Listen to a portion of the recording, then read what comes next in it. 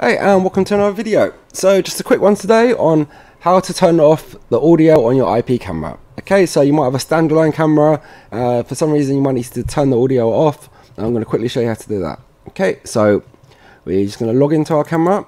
If you're not sure how to get this little tool I just logged on with, I'll leave a link below. It's called SADP tool. Okay.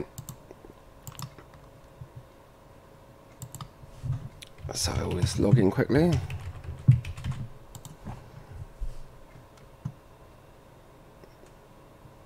Okay, so let's turn the audio on so we can uh, hear what's going on. Okay. You can hear the audio's on, and now uh, okay, I'll show how to turn it off. Okay, so under configuration, on the left here it says video and audio.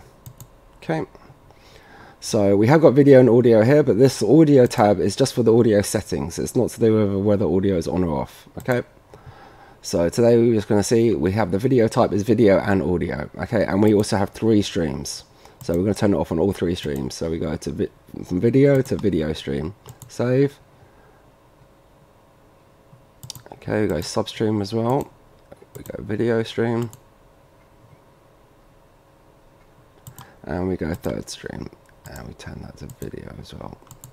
Okay, let's go back to live view.